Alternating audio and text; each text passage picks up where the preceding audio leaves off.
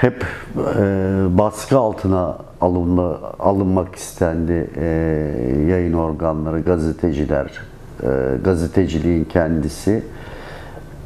İktidarlar zaten dünyanın her yerinde hani e, basının sadece kendi istedikleri şekilde yayın yapmasını isterler. E, bu bizim gibi ülkelerde doğrudan baskı aracılığıyla e, yapılmaya, sağlanmaya çalışılıyor. Ama yani e, tabii bu Türkiye'de bu gazetecilere ve e, ga- gazeteciliğe yönelik baskılar e, geçmişte çok şiddetli e, işte katliamlarla işte gazete binalarının bombalanması işte gazetecilerin öldürülmesiyle e, bu baskı kurulmaya çalışıldı. E, çok sayıda gazeteci katledildi e, Türkiye'de. E, doğrudan e, devletin gözetiminde en azından e, diyebileceğiniz rahatlıkla cinayetler sonucu.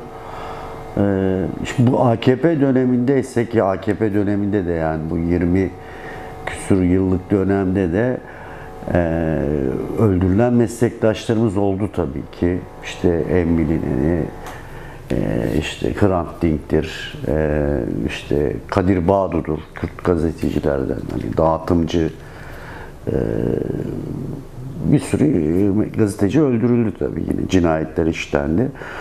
Ama bu dönemin karakteristiği şu AK- AKP yaygın medya diye dediğimiz, kimilerinin merkez medya dediği, kimilerinin kanaat medyası dediği o büyük sermayeli, çok satan gazeteler veya çok izlenen televizyon kanallarının olduğu medya e, kurumları AKP tarafından ele geçirildi tamamen. Ya e, işte satın alındı.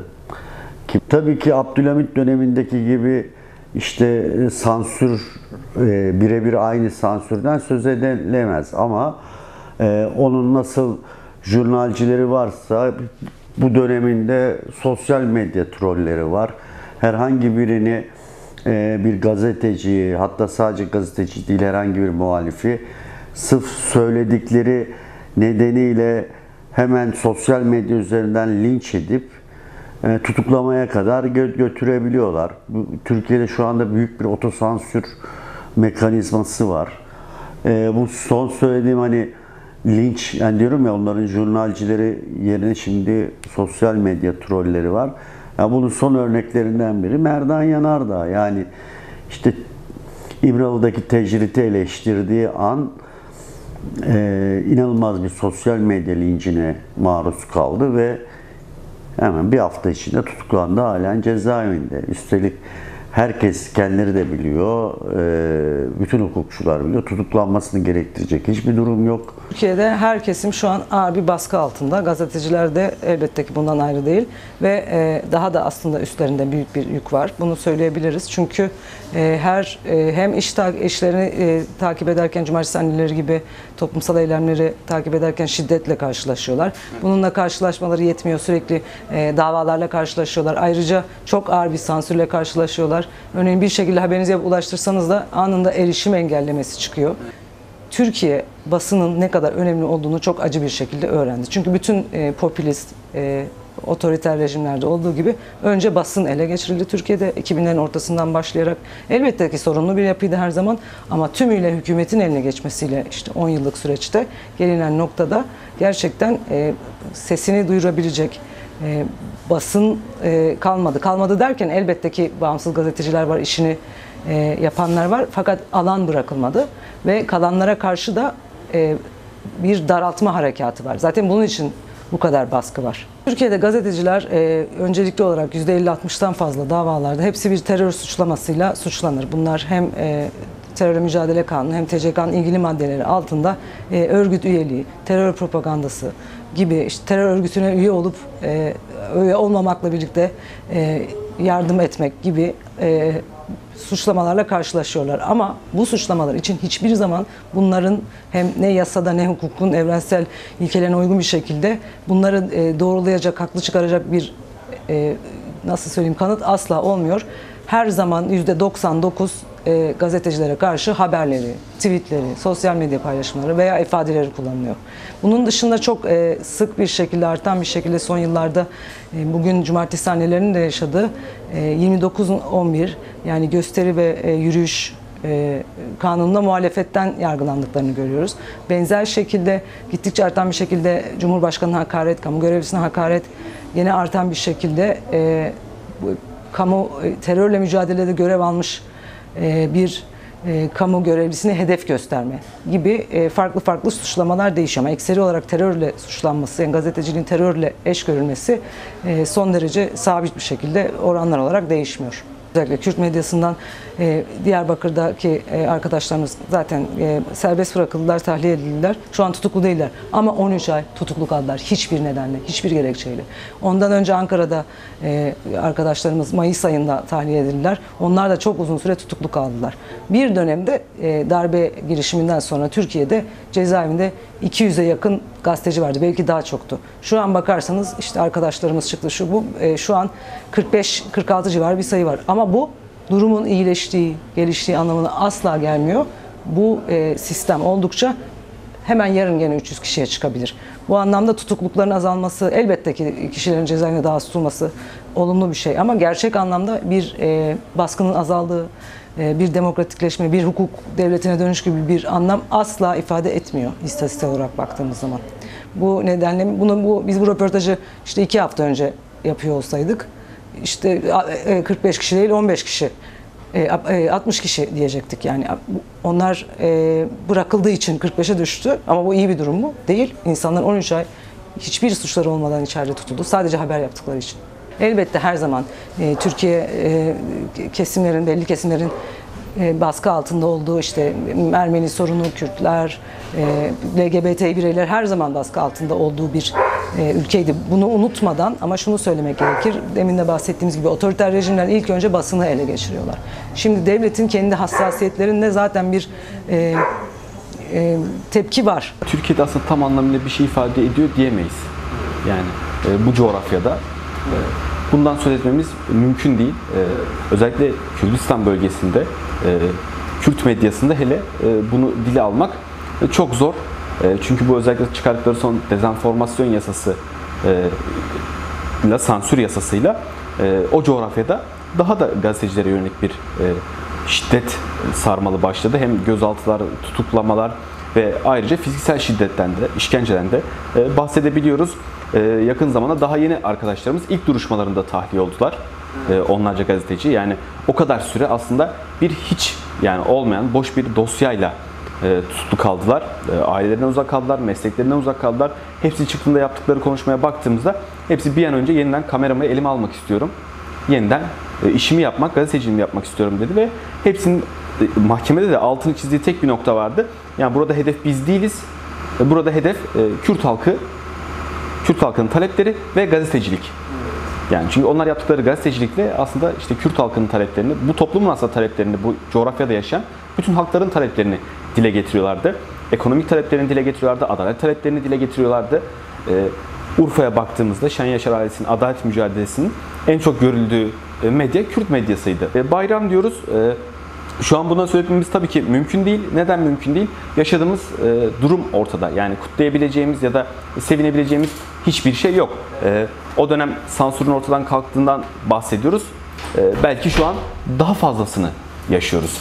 Şöyle gerçeğe, halkın gerçeğe ulaşmasını istemiyorlar. E, ellerimi arkaya zaten almışlardı.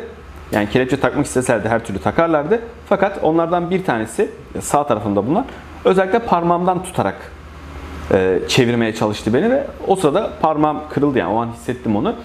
Daha sonra aracı alındık. E, araçta 7 kişilik e, gençlik örgütlerinden 6 kişi vardı ve ben vardım.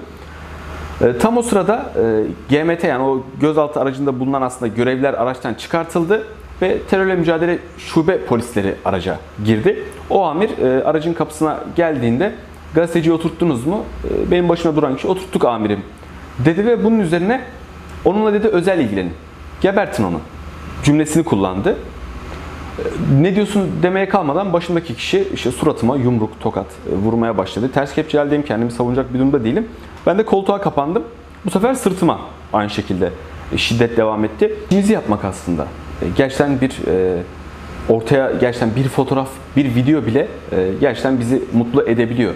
Yani bugün Abdurrahman Gök'ün yaptığı bir fotoğraf çektiği bir kare bütün bir gerçeği ortaya koymuştu. E, O gün e, o da aslında bütün e, emniyetin, devletin, e, iktidarın hedefi olmuştu. Çünkü ortaya attıkları bir yalan vardı. E, Kemal Korkut'un ilişkin attıkları bir yalan ortaya vardı ve o çektiği fotoğrafla bir kareyle bütün yalanları teşhir etti. Valiliğin yaptığı açıklamayı, emniyetin yaptığı bütün açıklamaları boşa düşürdü. E, Bugün e, tutsak olmasının belki de en büyük sebeplerinden biri o. Yani hala sansür devam ediyor. Doğruları söylemek yani gelinen noktada artık doğruları söylemek cezalandırılıyor. Bizzat hapishaneye eee, konmakla karşılığını buluyor. En son Merdan Yanardağ'ın başına gelen mesela öyle bir şey yani. Siz doğruyu söylediğiniz takdirde, tespitinizi doğru yaptığınız takdirde size bir e, yargı sopasıyla geliyorlar. Bir e, alanlarda bu polis saldırısıyla karşılığını buluyor. Yargıda bu cezaeviyle, cezaevi ve cezayla karşılık buluyor. Yani onun yüzden hangi bayramı kutluyoruz? Ben onu anlamadım. Yani bu bir bayram yok yani. Yani bu kimi zaman hapishaneye oldu, kimi zaman gözaltı oldu, kimi zaman eşyalarımı rehin almayla oldu. Yani baktılar ki manevi olarak çökertemiyorlar, maddi olarak çökertmek istediler. Ee, ve yani giderek de çember daraldı yani bu hiçbir zaman düzelmedi. Yani her bir sene başka bir sene arattır duruma getirdi diye düşünüyorum. Bugün mesela 2007-2008'e göre çok daha ablukalı, psikolojik bir baskı, e, işini yaptırmama noktasına geldi diye düşünüyorum. Yani seneler geçtikçe özgürlük alanı kısıtlanıyor basın açısından. Ama suskunluk da derinleşiyor. Onu anlamış değilim zaten. Yani bu ülkede suskunluk de- derinleştiği oranda baskı da artıyor. Ve basına yönelik baskı artık bir nor- normalleşme hali almış. Onu gördüm. Basın meslek örgütleriyle çok alakalı bir durum olduğunu tespit ettim. Çünkü onlar bunu normalleştiriyor. Yani iki tweet atmakla bir şey elde edemezsiniz. Bir mücadele vereceksiniz gerçekten. Yani bizim ar- arkadaşlarımız tutuklanıyor. Gözaltında 8 gün. Ancak 4 gün sonra basın açıklaması yapıyorsun. Yani sen ne için varsın? Önce onu bir konuşalım. Ki faşizm yükseliyor bu ülkede. Ee, faşizm yükseldiği oranda baskılar ve e, kısıtlamalar oluyor ama sen buna karşı nasıl bir e, reaksiyonun var? Mücadelemiz, hayatımız ve e, büyüdüğümüz